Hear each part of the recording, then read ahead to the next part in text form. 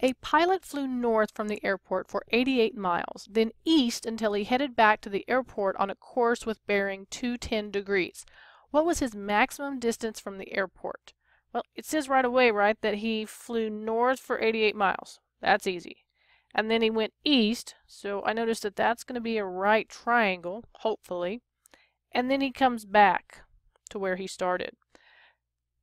Now, what's really important is here is the bearing. It says that he had a bearing of, so that's this angle here, is 210.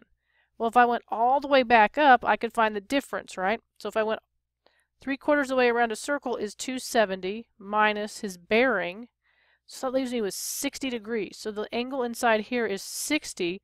Well, if that's 60, and we know it's a right triangle, this is going to have to be 30 degrees. And based on the fact that it's a 30, 60, 90 triangle, I don't even need to use the law of sines. If that's the first thing you thought of is, oh, I'm going to have to use the law of sines, well, you don't really have to.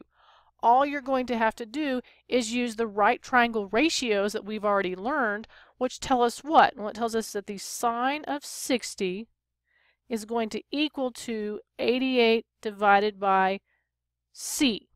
Now, what is c? Remember, c is your hypotenuse.